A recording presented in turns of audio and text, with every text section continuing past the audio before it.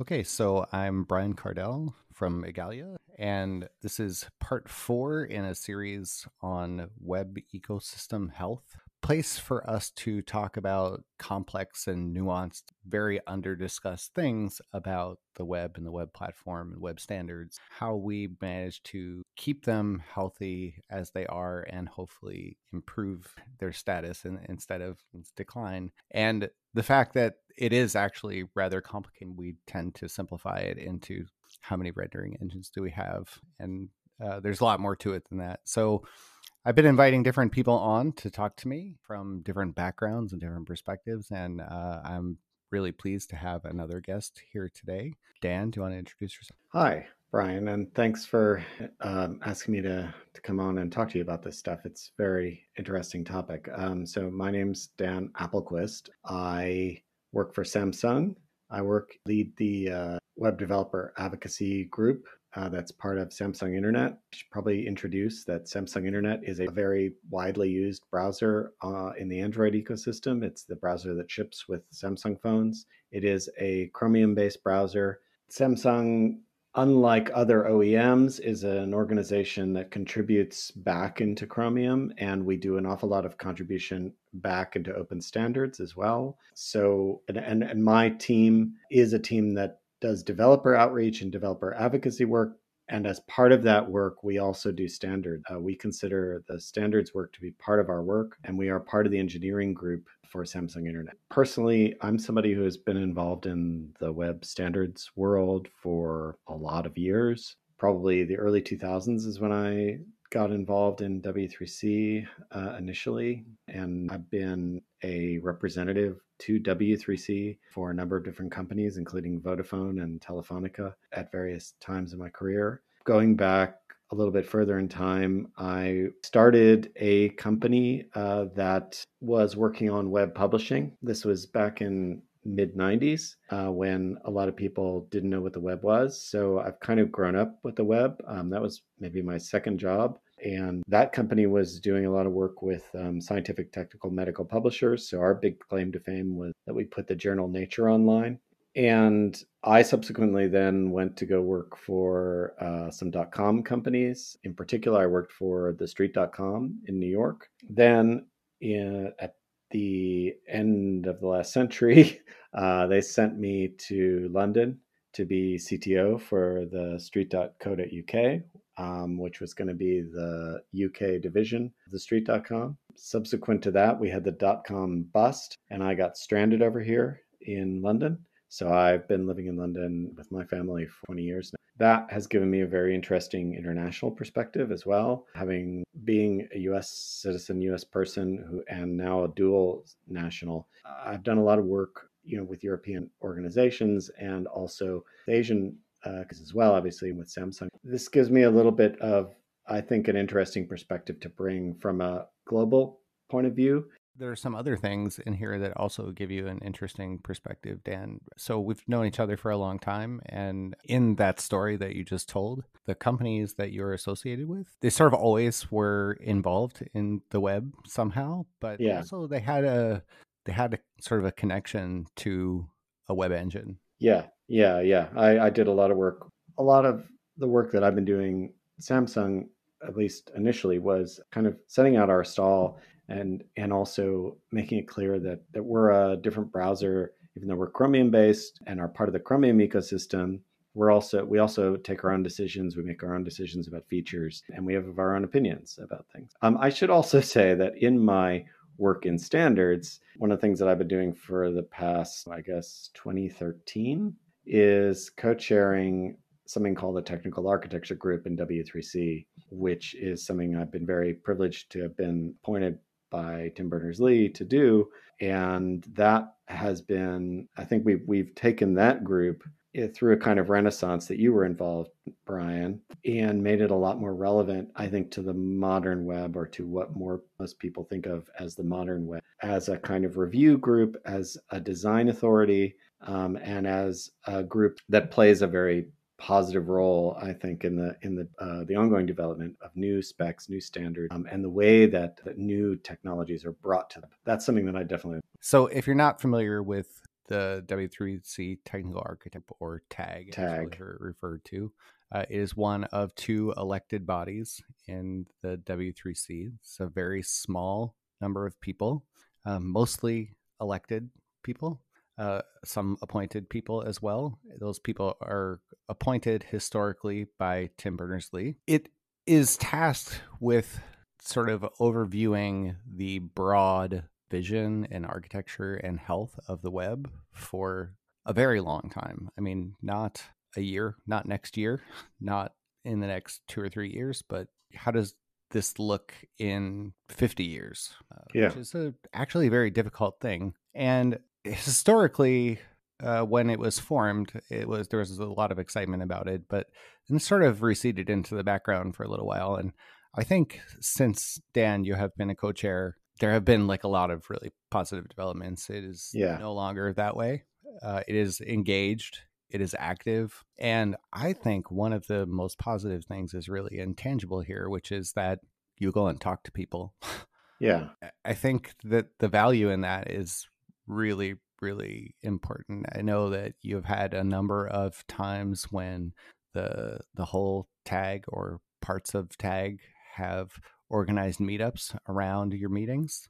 Yeah, obviously we're not doing that now, but but in general, uh, when we have been meeting, uh, we took the opportunity to engage with the web developer community, uh, and in some cases we ran evening events. In some cases we ran all day workshops where we had additional people from the web community, uh, the web standards community. I, I have a kind of general feeling that web standards are better when there's more engagement between the web standards and the general web developer community. Yeah, I think absolutely. And and for I think that that sort of thing helps the discourse, which I think you can't actually overstate the value of somehow being able to act together as a very diverse community that we are. Like the people that use the web is everybody. Yeah. Frequently, we have like our own bubble. One of the things that I think is kind of interesting here is uh, I, I, did a poll recently. Yeah. Uh, about the speed of innovation on the web. And this actually came from my developer advocacy. I talk to a lot of developers and I hear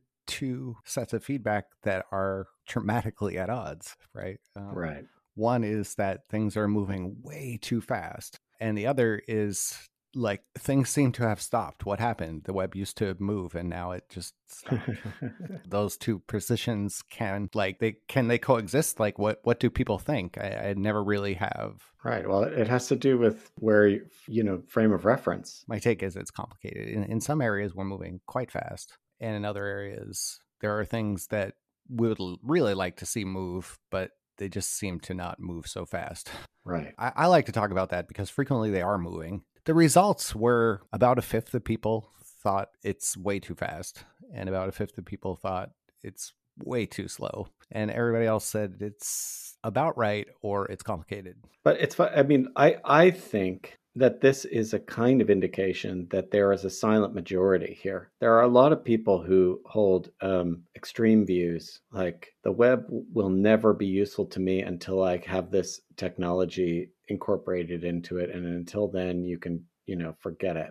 And then people who are like, uh, the web will cease being the web if, if you keep adding new uh, technologies and new um, APIs into it, and then we'll lose its its essential quality of webbiness. And so I'm not interested, right? And I think that most people are on neither side of that spectrum. I think the thing that your poll and the results of your poll point out is that most people are, are generally okay with the pace of innovation. Um, I think we actually are living through a web renaissance right now. I mean, I think there's never been a time when there has been more focus and energy on new technologies bringing new ideas, new thoughts, new APIs, and new approaches to the web, both from a design and API perspective and performance uh, point of view, and how that web how that web platform manifests itself on different types of devices and different modalities of input and output all that stuff it's very exciting to be part of the web community right now. And i guess i'm i'm also you know looking at it from the perspective of my long-term point point of view right? I saw us live through the web dark ages when you know ie6 was the only browser that anybody cared about and uh, dramatically different where where we're living now, environment that we're. I think it's good for web developers and it's good for web users. The dark ages that you mentioned, I think a lot of people on the web today they they didn't live through those. So for some perspective, Microsoft Internet Explorer won the web. Uh, they had somewhere upwards of 95% of market share. And the W3C at the same time was sort of into a second system effect. They were looking for the next web that wasn't a dev- an evolution of the current web. It was the way we'll do it right because we got a lot wrong. Yeah. Uh, in you know, sort of typical second system of effect, it, it was a real overshoot. But because of that, Microsoft dismissed the IE team. So, yeah. like the one web browser that was used by the vast, vast, vast majority of people had nobody maintaining it really, or trying to keep it going or keep it effective, which really just sucked the wind out of everything. Yeah, I mean that is a really good. I, I, I think it it is a all the energy was gone from the web, and it took the development of Firefox and the deployment of Firefox to really uh, reignite that. And I think you know that is a lesson that I certainly draw from history. I, I, I also am reluctant to apply that lesson too directly to our current uh, situation. I think a lot of people uh, love to say things like uh, XYZ is the new Internet Explorer, uh, Google Chrome is the new Internet Explorer, no, Safari is the new Internet Explorer. And I guess, you know, with the, me- the meaning being who is holding back innovation on the web, who is causing web developers the most headaches. I think it is a mistake to try and directly kind of bring history forward like that. Um, I, I, however, I do think we can definitely learn some lessons and apply those lessons to the current environment. The initial blog post I wrote that sort of launched this conversation actually made a similar point, which is talking about rendering engine diversity is very incomplete as a measure because yeah uh, at one point in time we might have had five rendering engines but they were dramatically less capable and they were also proprietary. Today, they're all open source. And so the the birth of Mozilla from Netscape. Yes. As an open source project and KHTML as free software. Those had a really healthy impact, I think, because they not only allow companies like Samsung to get in and work on things. But they also provide a case where, as the world changes, like th- perhaps this is something that you can actually talk to as your your long view of the web with tag. One of the things that I've been talking about here is that if there's a lesson that you can learn from history, it should be more vague and it should be about change is inevitable and the power structures will change and the budgets will change. The energy that a company is willing to voluntarily put can change even if that company itself is actually really behind the ideas. Sure. So, uh, you know, we've seen this in the past with IBM has had to radically change, Motorola has had to radically change. You know, like they have changed as companies and the way that they invest, and Microsoft also. Like Microsoft is a very, very different company than it was yeah. back then. Yeah. The web, the web has to outlive all of that the web absolutely. you know that's the point. and that's one thing that i'm passionate about. The web the web has to outlive any individual company any individual browser any individual engine. Um, who's to say what we're going to have in 10 years time? Yeah i think that's absolutely the case. And if you look at every engine that we have right now we have gotten not through some special act of glorious creation like all at once you know on the sixth day somebody created right? But we have gotten there through evolution, right? We've gotten there through evolution. So even um, the very early browsers were very frequently like Netscape was a rewrite by mostly the same people who created uh, Mosaic. At every stage, you get new people and new ideas, and you learn lessons from the past. But uh, you know, through KHTML, we got WebKit. Through WebKit, we got Blink.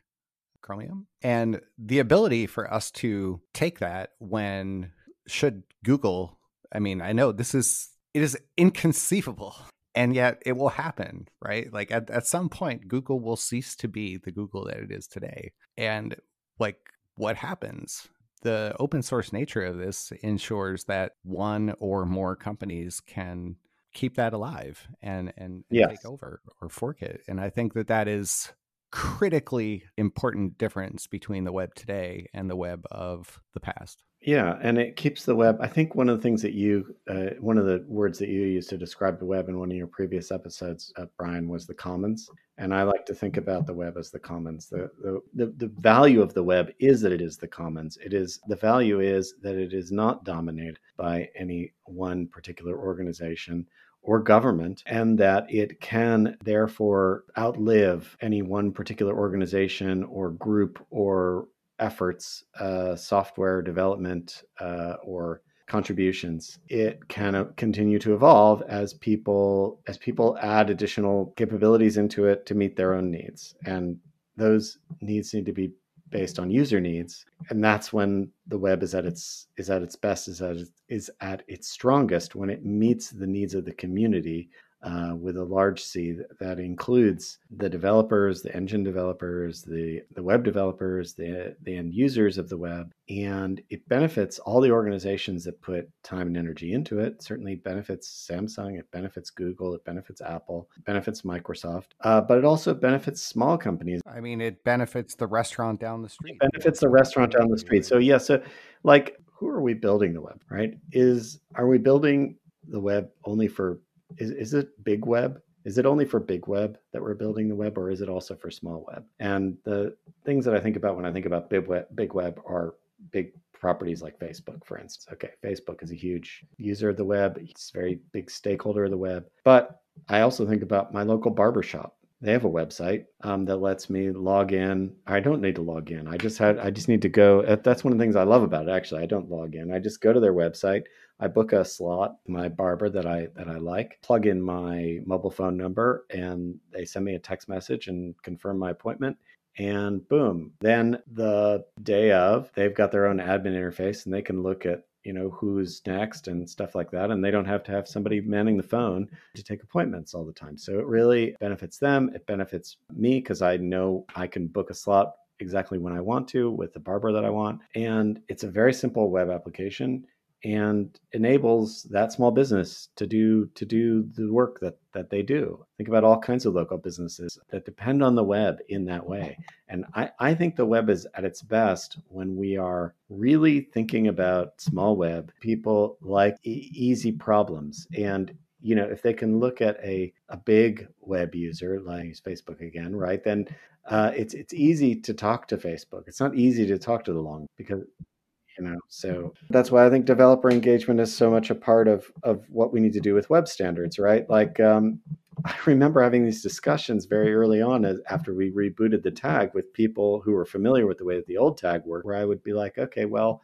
we're going to have a developer meetup at our next tag. And they would look at me and just why would you want to talk to developer? Really flummoxed that like and and to me that completely misunderstands what the web is for you know it's it, so i'm you know I'm, I'm glad we that we got there in the end. Yeah i am i am too. I have no idea what we're doing in a lot of ways like we're we're doing it for the first time and uh, like as you do things for the first time you can expect mistakes you can expect to learn and and, hmm. and continue to do better and i think that's like a good gauge of like are we continuing to learn and do better? Like are we correcting mistakes?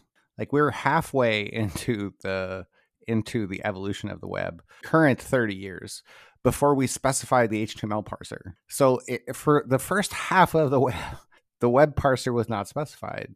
And also, there were no shared tests. Like those are huge changes that happened only about halfway through. Yeah. Right. But they're they're much, much, much better. And we also uh, we work on them together. We don't just go and change something. We work on them together because we care about interoperability because that's key, right? Like it's really yeah, it's one of the things that makes the web different is that it is a standard. It, it's not Qt or something where you you can kind of do what you want. It's multi-stakeholder by nature, right? And it, and I think that's a key part of the definition of what makes the web open. I like to talk about transparency of process, multi-stakeholder, open open availability of standards, royalty free, these are things that make the web, the foundational technologies of the web, open in in that sense, and that and that keeps them in a level playing field where you can have multiple parties speaking together. We know how things are built. I think the trans- the transparency also comes through to uh, to how you can trace exactly you know all of the contributions and um, and you can know from a techno from a technical perspective how things are built and also importantly from an intellectual property perspective how things are built so you make sure that the technology that you that you're using is is being offered under a royalty free license all that kind of stuff. So it's it's super important. Sort of a renaissance in how do we include developers? That that's a thing that is not unusual in the evolution of standards period. Like all standards bodies have been learning for as long as we've had standards bodies the flaws in the way that they've approached problems. And one of the things that's always a challenge that is not learned early enough is that when you have multi stakeholders, you have so many people who rely on your uh, on your standards that somehow engaging them early in the process is important is especially important because things just take a really long time. So I've been involved in a number of different activities to try and get developers and that and by developers i i mean people generally who are outside of w3c member companies right because the people that w3c uh, member companies put forward to participate in w3c activities is a very very very small distillation of the web developer community and uh, it includes a lot of people who probably are not in the web developer community. There and i think that bringing the reality of the viewpoints of web developers into the process early can have a real benefit. And so initially we had this thing called incubation groups. That kind of got uh, it's historically new and that's kind of what i was saying yeah like yeah. it, these are positive developments. I think there are some really good examples of where community groups have incubated an idea that initially came from outside of the w3c it came from developers. It came from uh, people who were working for companies that weren't w3c member companies um, and therefore couldn't participate in full it was more difficult for them to participate in full W3C working groups. It is possible for organizations that are outside of or people that don't work for W3C member companies to participate in W3C working groups, but it's an arduous process. You need to become an invited expert. This is one of those kind of uh, controversial topics. I'm sure some people would say, oh, it's easy to become an invited expert. It's not easy to be, okay? But the point is that something like community groups the whole point of those was to uh, be a place where people can bring a new idea, start talking about it amongst themselves, start developing it, and then eventually bring that idea uh, when it's more fully formed, when there is a spec, when there's a, something, something drafty that even we might have an implementation can be brought into a full W3C community or a working group. I mean, I think one of the best examples, most recent examples of that that um, that I've been connected to has been the Immersive Web community group, which was building the WebXR specification, initially the WebVR specification. And uh, that work happened initially in a community group. It incubated in that community group. Eventually, it was brought into W3C, was brought into a full W3C uh, working group. In that process, some organizations that were not part of W3C previously joined W3C. I think that's to the benefit of W3C, um, to, to, to the benefit of the W3C community. And it also continues to work as a as a kind of um, mode process, right, where new ideas are incubated within the community group that still can have very easy access from developers outside of the W3C member companies, and the work of actually standard, standardizing, bringing the um, the more fully fleshed ideas through the standardization process happens within W3C's more formalized process within the working group. Becoming an invited expert to, say, the CSS working group or something like that really it, it doesn't give you any special powers either right no um, the, the, css working group has hundreds and hundreds and hundreds of topics so if you're lucky you'll get a 10 or 15 minute slot someday that is not the way that developers really can organize their time and be involved in everything and i think that some of the interesting things that have happened have happened through opening that up to like lighter processes that also let us sort of like test things out much more quickly and, and iterate.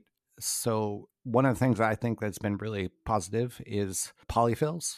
People attempting to speculatively polyfill together in the community group. Yeah. So they don't just say, here is this vague idea.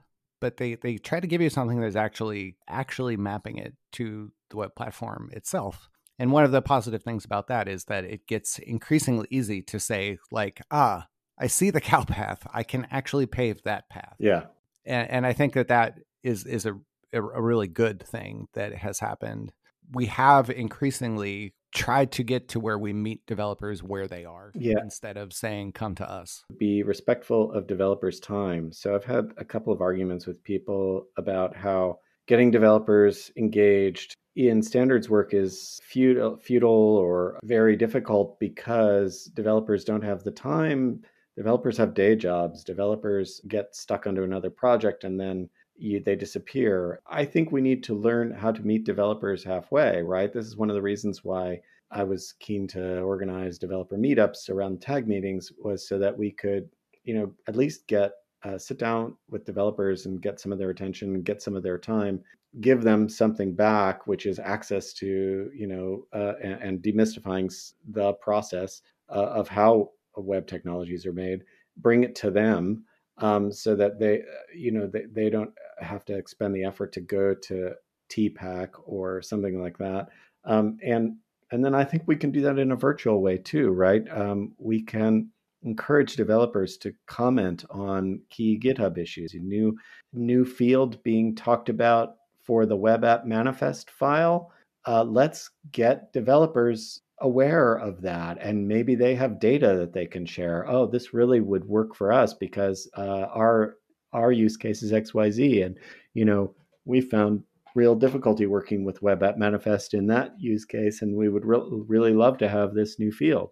Um, that kind of information that kind of insight is gold for in, in my experience for web standards uh, because it's real and real developers that are working with real applications. And those applications might not be the applications that you're thinking about. You know like uh, I, when i was i didn't mention it but I, I did a stint of work for uk government digital service uh, for a year. And some of the use cases uh, there some of the kinds of web applications that were being built there are things like i don't know uh, car registration or scheduling prison visit right? Um, these are applicate or or uh, dealing with, um, with, with benefits and applying for benefits. These are the kinds of uh, use cases that really matter to people, and they're very often left on the uh, outside of the room when we're in a conversation that's being dominated by commercial partners who are really just keen on uh, meeting the needs of commercial web applications and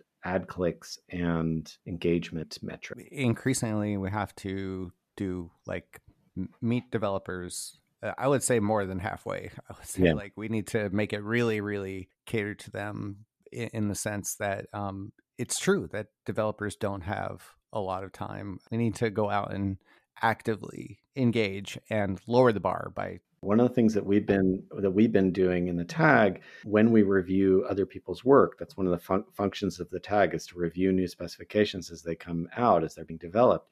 Um, we ask specification developers to write an explainer, and the explainer should be written in a way where web developers can engage with it. It's it's an explaining.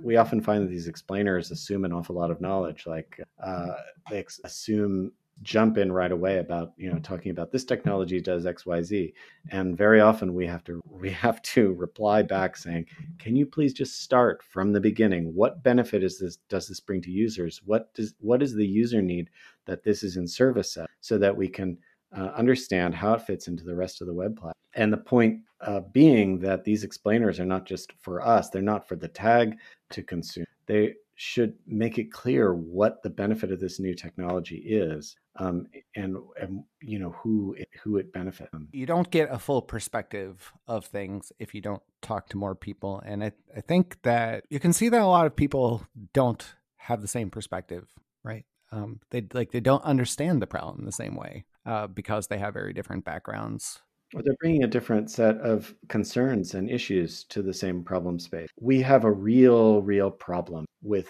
diversity of participation in these discussions, both from a perspective of the developers that are being engaged with and the people who are being put forward to participate um, by W3C member companies and by other other organizations uh, in uh, other places like WHATWG and TC39.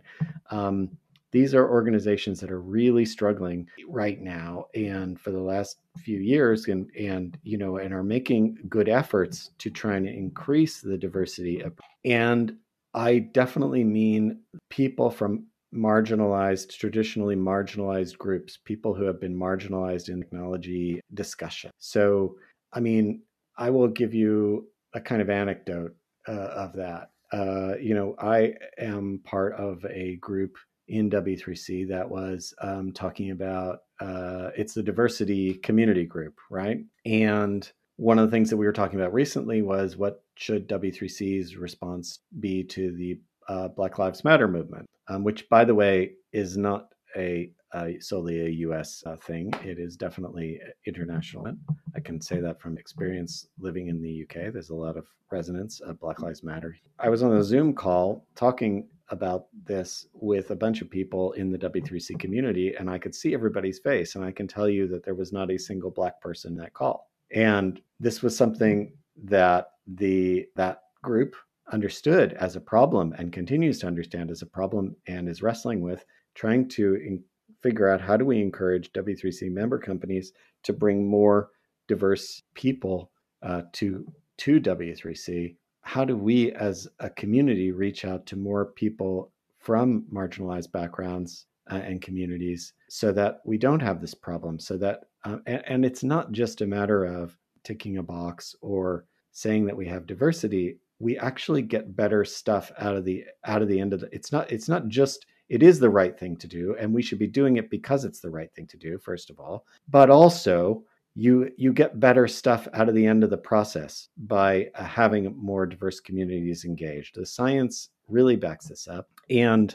i was in another discussion recently that was also not very diverse and we were talking about some privacy related uh, technologies. Um, and once again really I felt it was very it was a very frustrating conversation to have because in some cases or I think in most cases marginalized groups can be some of the groups that are most impacted when you have f- pr- privacy failures on the web. If you are in a privileged category, you maybe don't care so much about your privacy, uh, right? But if you're in a marginalized uh, category, if you're LGBT, for instance, then you are going to care a lot about your privacy and what things you click on, what to put an example out there, what Wikipedia pages you go to can be a life or death situation for you, depending on where you live in the world. The, that's the kind of thing that privileged white males sitting in Silicon Valley working on a rendering engine, it's not going to be top of mind. I'm not attacking anybody, but I do think that we really need to take this seriously and and I think the big companies that are fielding people to participate in these standards efforts are not taking it seriously enough. Uh, I would like to challenge big companies who are putting a lot of people into W3C and into other standards efforts to get serious about putting more diverse people into those teams, creating career paths for people in their engineering groups so that they're prioritizing diversity in their engineering teams, prioritizing putting diver- those diverse people who they who they are building up in those engineering groups into standards and prioritize you know prioritizing uh, putting diversity and inclusion as a priority in the whole thing. In the middle of that, we also need to make sure that W3C itself, so uh, you know, as one of the organizations that is a steward of web standards, is an inclusive organization and is not a place where the minute you, as a, a, a woman or as a black person or as somebody who is coming from a marginalized group, um, step your foot into that organization, you feel like, what the hell am I doing here? This is extremely toxic. And let me tell you, I've had that feedback from people that I that have worked for me and who I have asked to participate in a particular W3C uh, activity. And they come back to me and, and told me that they felt extremely uncomfortable because they were the only woman or they were only the only non white person and that they found it really weird and they felt excluded. W3C needs to evolve as an organization. I can I'm very happy to say that just this year, uh, just a couple months ago now, we finally after years of work, we're able to publish a new code of conduct, a code of ethics and professional conduct uh, for W3C, which is much more modern and incorporates a lot of the thinking from um, modern uh, codes of conduct in the open source community and in the events community, such as the uh, Geek Feminism Guide and places like that. And that is a good first step. I think having a really modern and progressive code of conduct really helps. It took a long time and the reason it took a long time is that there was a lot of institutional resistance and a lot of whataboutism to actually putting this kind of thing in place in W3C. We got there, now we're there, and now it's time to build on that more and use that as a way to encourage more participation. Um, another thing that we're doing, we've done it for the past few years. We've had a TPAC Diversity Fund. I'm really happy to say that Samsung has participated and has, has uh, contributed into that fund for the past few years. Uh, we're doing that again this year. And th- what does that mean? It, it means that if you're a web developer from a marginalized group, then you can apply for money from this fund to help help fund your needs when it comes to participating in tech. So in previous years, this has meant things like uh, travel or hotel, bursary uh, cost of uh, food, you know, food uh, while you're at a meeting, that kind of thing. Um, and I know many people have taken advantage of that for previous physical meetings. In the current environment, it means more like support. There's more information about the TPAC Diversity Fund on the TPAC uh, page on the registration page. It's a little bit more difficult to find than I would like it to be, but it is there. If you go to registration and find out. I think to Tim's famous sort of "this is for everyone" thing, and I think that that's important. If it is for everyone, it needs to include everyone. Mm-hmm. It needs to include everyone because it's the right thing. Yes. But also because it is a commons and it is for everyone, it will be better for including everyone. And one of the reasons uh, is actually very pragmatic and practical, which is that your perspective on things, if everybody has the same background and the same perspective and and and very generally the same outlook, it is going to inherently exclude people yeah. and ideas and important things. But a thing that I struggle with personally is um, there are concrete practical arguments that you can make here to say it's important for you basically that there is diversity but somehow that also can take away from the fact that like it's the right thing to do. Yes. right. Um, which is is a difficult balance that I'm not sure what honestly the right. I, I think I, I think it's I try and lead with it's the right thing to do, and also it's the best thing to do. So on this point, you also mentioned TPAC, yeah, and uh, one of your one of your co tag people uh, is our friend Alice Boxhall. Yes. And last year at TPAC, she gave an excellent presentation that I'll link to in the notes that is about things that have been innovative in society that everyone benefits from today that came about because of including more people with more diverse abilities and needs and backgrounds. Right. I think that applies broadly. You know, uh, I think I think we all benefit from uh, greater web privacy, for instance, even if that privacy is, you know, if those use cases are coming from particular uh, groups that we all benefit. So, so it's, it's a good lesson to learn. Some of the things that we've had to change in the web around security and privacy have to do with like actually protecting people's physical safety. For a lot of us, like privileged white male, heterosexual, like maybe we don't have like some of those same immediate concerns, but then when somebody points out how that can be used, they're they're more sensitive to it somehow in a way that is actually really beneficial to everybody. I mean, one of the things that we're trying to do in the tag, for instance, is when we are, again, coming back to our review process, because it's one of the kind of like powers, we don't, it's not a formal power, but it's one of the ways in which we can exert influence over the way that specs are being developed. Um, we're often asking people, can you elaborate on the abuse scenario? right? Like uh, this new technology that you're trying to introduce to the web, how can it be abused? How can how could it be abused by, uh, for instance, um, we had a web we had a web IoT group um, that's looking at all kinds of scenarios around Internet of Things and home automation and that kind of thing. And one of the well documented ways in which IoT is abused is by controlling partners that misuse IoT devices to surveil their their spouse or their partner and that is that is a kind of abuse scenario that is totally not accounted for was totally not accounted for was doing. So things that TAG did was to feed back and say can you please uh, take into account these scenarios? Here you know it's very well documented. You can go out and read about it here. But you know if you're if you're coming at it from a perspective of uh, we just want to build this great new thing, you might not be thinking about those abuse scenarios because you're not, it's not front of mind because it's not something that you've ever had to deal with. If you've got a, a, a diverse group of people coming in at the beginning, you're going to be more likely to find those scenarios and to be and to and to have those in your thoughts and therefore in the in the initial set of requirements documents so somebody is so somebody doesn't have to raise them at the last minute and say hey you forgot these incredibly important abuse scenarios. Many of us have a very protected view of the world where we're like we're not somehow imagining the nefarious uses of things. I, I think the ambient light API was yeah was like a, a, a good example of that. Um, I, I I have to be honest, like I couldn't even imagine how somebody could have used that, but it turns out you can. Or or or the fact that the uh, the gyroscope can be abused, uh, can be turned into a microphone.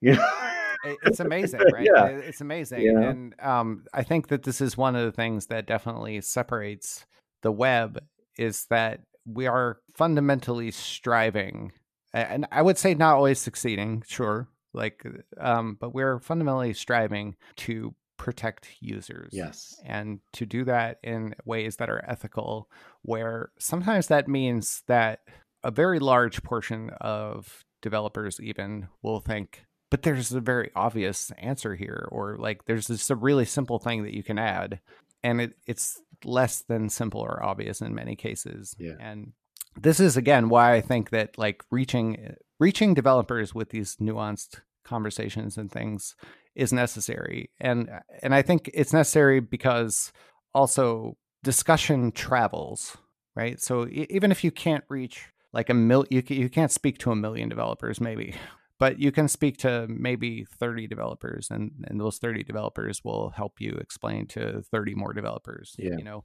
and you can you can get at conversations and, and difficult things that way i should also probably take the opportunity to talk about the fact that the tag recently or last year uh, published a document called the ethical web principles and the yes. point of this document is to try to answer the question so what is what makes the web different from other similar platforms. Why is the web different from native application? Why is the web from uh, any kinds of any kind of documentation? Why is the web why what what makes the web different? What differentiates? The thing that I think a lot of us feel, a lot of us who have been participating in the web community for years feel is that the web is inherently a more ethical platform, or at least it should be. It certainly was built from a perspective of uh, the web is for everyone, as you channeled Tim Berners Lee's statement. It, it's also an it should be an inherently safe platform to use. I mean, a lot of the statements in it take the form of things like the web should not cause harm to society. Uh, the web should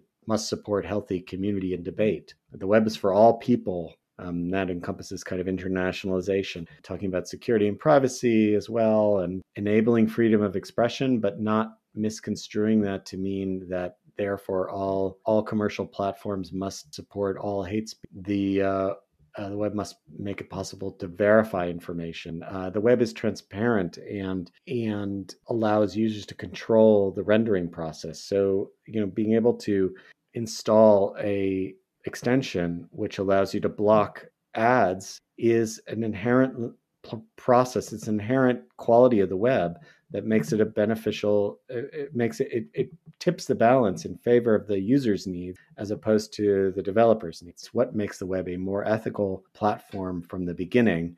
Then we can tie our design principles back to them. So we can say okay well it's safe it must be safe to click on a link and it must be and that is because of XYZ ethical principle that is something that applies to how the web is designed and what makes it different. So that's work that is ongoing, but I, I think it's important fundamental work, a little bit of archaeology, because we went through and we we we found you know things like and incorporated things like the um, priority of constituencies, you know, putting users' needs first. We incorporated that into our documents now. Um, that used to be part of this kind of unofficial HTML design principles note. Now it's part of our web design, uh, web platform design, print, which again ties back to the ethicals. So let me ask a, a hard question. If you were to zoom out a little bit and we look at the priority of constituencies and we look at the statements that we're making about doing uh, new features or bugs to be worked out or something that is for one of those purposes that isn't done yet.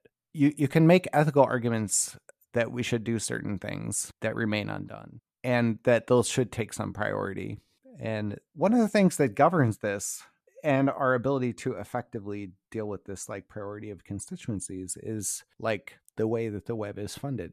Ultimately, there is a budget somewhere. Somebody is governing with not necessarily that as their first and foremost priority, right?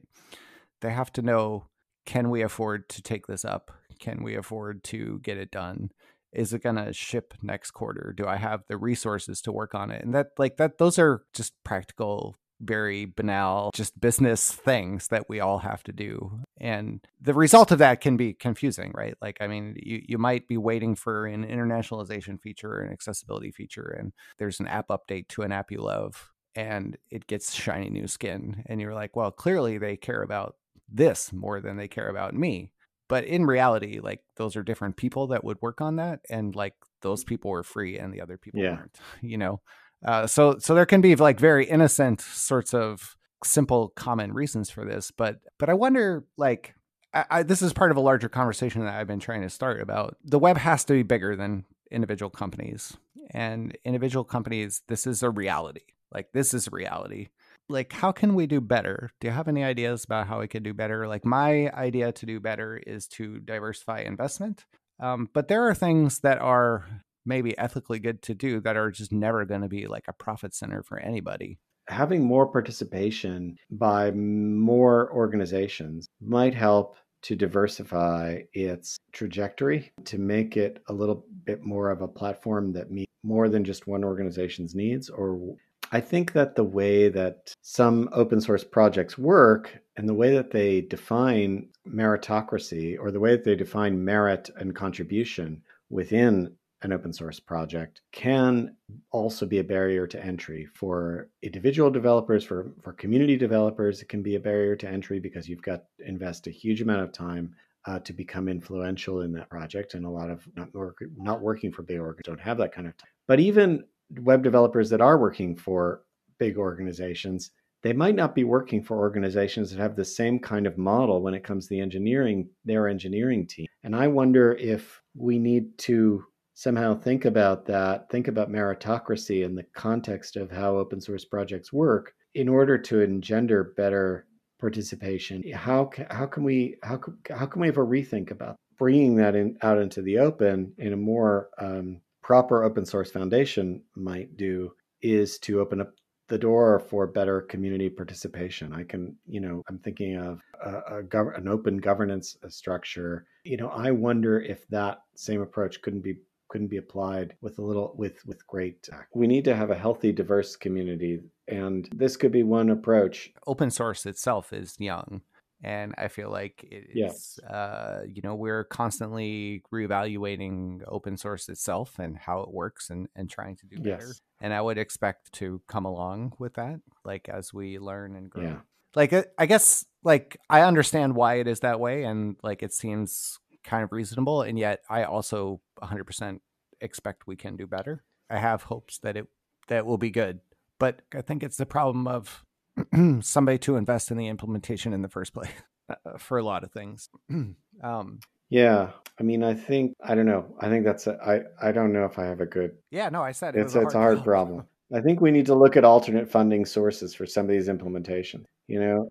Yeah it's a thing that i'm very interested in because I think that uh, the web is a commons, and the fact that it is, if you trace the money, basically it is mostly funded by search. Yes, right? that is an that is like kind of one extreme. Like it, it's gotten us here, and I, I'm not necessarily complaining about it, but um, it it does lead to certain things and not certain other things getting getting attention. So so like the the motives of who is doing things they're not charities right and that's fine but it but it does mean that if you're talking about end users are your important thing, then you can wind up being like, well, end users of Office. Yeah, yeah, yeah, yeah. But but not end users who uh, you know are like trying to interact with a keyboard on the regular web. That's like uh, not that's not to bash on Office in any way. It's just like the thing that yeah, yeah, um, yeah. And so so like I, I I mean to I mean my point is maybe you know do do other how, how do we get other funding mechanisms involved in helping to fund those ideas and i don't i also don't think it's appropriate to turn around to those people who are in hey you marginalized community why don't you stump up the cash to uh, support this feature you know this or that benefits you that's also not appropriate right so you know could government funding uh, play a role more we've seen that play a very important role in the creation of the internet in the first place. Um, why aren't we hearing more about government grants and that kind of thing being used to fund uh, work on on the web? Those those kind of things would be really positive because it is uh, like we have not actually explored any of those models, and I think that if we're in that sort of stage in our in our history, like I I said this thing in my recent blog post where like when I was a little kid and cable television was new, my grandmother said why would anybody pay for television? yeah. Because it just comes over the air and it's free. And it's like, no, it's not free. It is like ads in your face every 10 seconds, right? Like, I just want to be able to watch a movie on HBO. And that turned out to have its own issues. And we tried other things. And now we have like lots of different ways to fund the creation of entertainment. And I think it's better for it, you know? And I think that we should explore lots of different ways to fund the commons yeah. because it underpins all of society and it's important and and i think that's the important that's the that's the thing that i keep coming back to in my head is that it's not just about when we talk about the web i feel like some people feel like we're talking about facebook talking about netflix we're talking about you know google and ads and search and stuff like that and you know the web is important to people because they uh, it is the way that they are finding a job. It's the way that they're able to apply for benefits. It's the way that they're able to find a home. It's a way that they're able to get uh, health care. It's a way that they're able to get information about coronavirus right and understand whether or not they should be traveling uh, to a particular city or not. Uh, it helps them make life changing you know vital life decisions the web touches every single aspect of people's lives from birth to death and you know, if, if we uh, only treat it as a commercial platform that's only important from the perspective of search and ads and and making uh, more ads pay more money for for big content and big business, then we're really doing it a disservice. And it's not. Then it only becomes that commons and that socially relevant platform by accident. And I think we can't right. do that. We can't. We the the web needs to be more than that. It needs to be by intention this socially relevant, socially vital platform that connects us. And, and it is that right now. We need to maintain, we need to make sure that it maintains that. Really well articulated. Yeah. So our ability to have like lots of different uh, investment in the things that are important to the commons, you know, it, it goes across all things. And I think MDN is a, uh, is an interesting example to use. And so MDN is probably like the greatest resource for web developers to ever exist. I, I think it's true. I think it is, and I and I think so. A few years ago, I became part of the advisory board for MDN. So MDN has what's called a product advisory board, uh, which consists of people from different organizations. Uh, we uh, we have uh, Robert Nyman from Google. We have um, we have Dominique from W3C uh, Jory from from Bocoup, and the point of this was to reinforce what was already the case and what what many web developers already knew, which was that MDN is a cross-browser development resource for web for web developers, a, web, documentation resource for web developers, and um, and then that information flows through to Can CanIUse uh, because more recently CanIUse is now using the WebCat data, so it's all part of the same story about about data. And as a web developer, you can be confident, you can have a fair amount of confidence that you will be able to go to any particular web page on MDN and get a very good kind of neutral uh, editorial viewpoint, um, even though it's run by Mozilla, and, and that you'll be able to use that information to you know to guide your work. So I've been very happy to be able to put some of my time and energy and also some people that are working for me at Samsung are working on updating their pages.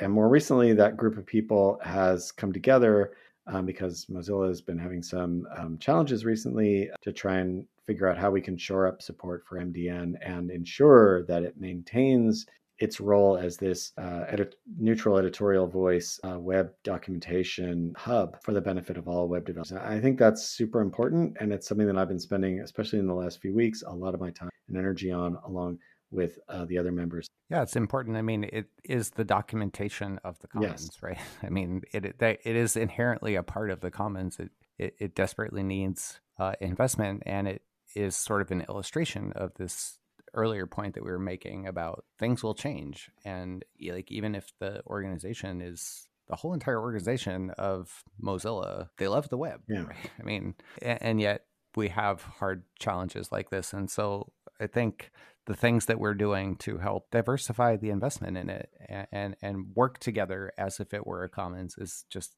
great and would do yeah. more of it. Um, all right, so Dan, thanks so much for taking the time and talking with me about I, I think lots of other like different areas of things that we haven't had a chance to talk mm-hmm. about yet that I think are really important. Um, thank you. It's always interesting to chat with you, Brian, this stuff. And, uh, you know, thanks also for the time and energy that you've been putting into the web platform all these years. Uh, it's really made a difference, I think. Also, thank you for everything that you have done for the web and continue to do for the web. I think that the web is a, a better place for your involvement. So, thanks.